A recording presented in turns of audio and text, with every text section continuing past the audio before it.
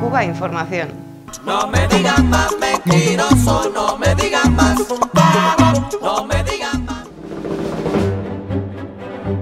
Es un clamor mundial. Decenas de organizaciones, instituciones y personalidades han pedido al gobierno de Estados Unidos que levante sanciones y bloqueos a países como Cuba o Venezuela para que puedan hacer frente en mejores condiciones a la pandemia de COVID-19 el secretario general de la ONU, Antonio Guterres, la alta comisionada para los derechos humanos, Michelle Bachelet, la relatora especial de la ONU sobre el derecho a la alimentación, Hilal Elber, el Servicio Mundial de Iglesias, el Parlamento Latinoamericano.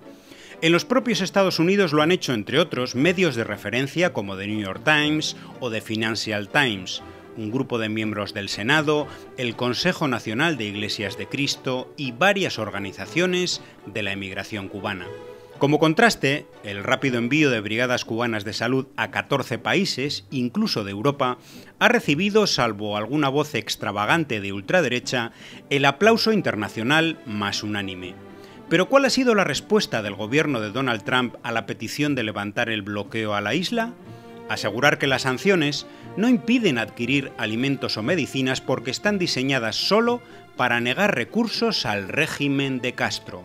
Hace unos días, una naviera de Estados Unidos contratada desde China para transportar donaciones de material médico a 24 países de la región se negaba a entrar en Cuba debido a las leyes estadounidenses.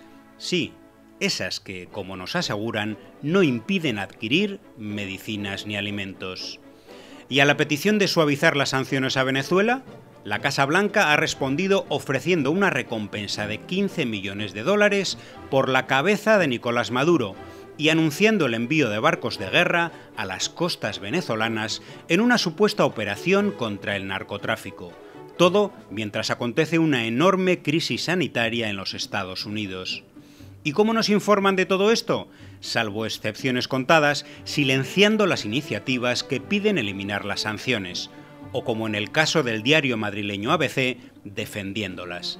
Este jaleaba la caza extrajudicial del presidente venezolano, calificando como hechos probados sus supuestos contactos con el narcotráfico.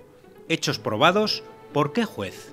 Y calificaba la respuesta de Caracas a Washington como una amenaza de Maduro que además, junto a Cuba y Rusia, aprovecha el coronavirus para exigir en la ONU el levantamiento de sanciones. Y de nuevo el mensaje de la supuesta entrega de recursos del país a Castro. Maduro envía a Cuba cuatro cargueros de petróleo en plena escasez nacional de gasolina, titulaba, lo que sería un regalo a Cuba. ¿De verdad un regalo? El Convenio Integral de Cooperación Cuba-Venezuela garantiza, cuando las amenazas a las navieras no lo impiden, el suministro de petróleo venezolano a Cuba.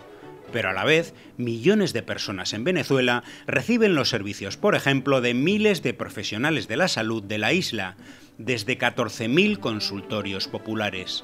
Hoy su trabajo es estratégico frente al coronavirus.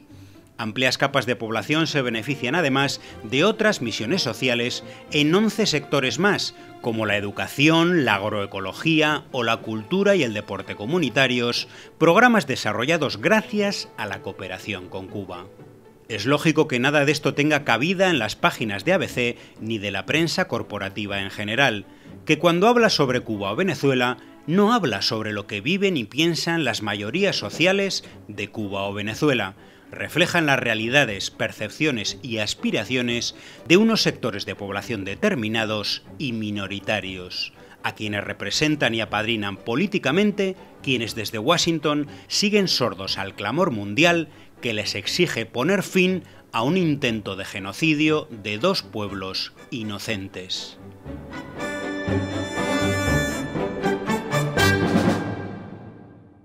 Aquí estamos nosotros dispuestos a combatirlo en todos los terrenos. Eres un miserable Donald Trump.